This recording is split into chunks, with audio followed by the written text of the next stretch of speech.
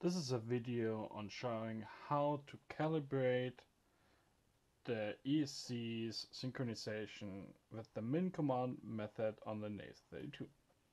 So in the Baseflight configurator you connect, you get into the CLI, you enter set min command equals 1850, you save, then the Naze32 will be rebooting, disconnecting, you reconnecting. As soon as it's up, you want to reconnect. So now it's functional again. Now you connect up the LiPo.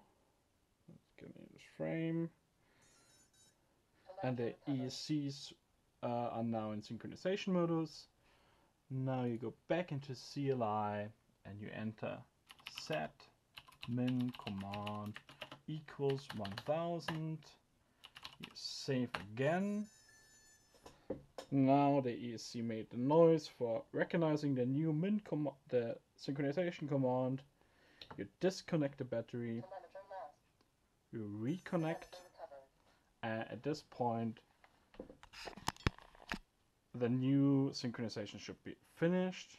And if we arm it, all the motors spin up at the same time.